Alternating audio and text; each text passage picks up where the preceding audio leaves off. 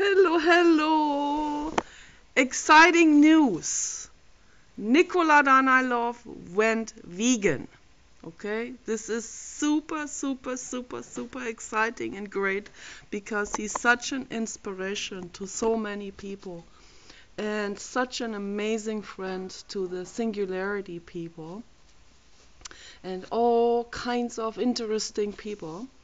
So, if Nikola can do it, his name is Nikola with a K in it. My ha mine has a C in it. Mine is a German female name. His is a male Bulgarian name. So if he can do it, you can do it too. Ben too, and um, all these people out there in Hong Kong, you can do it too. Okay, Ruiting Liang and David Hanson and um, Hugo de Garis.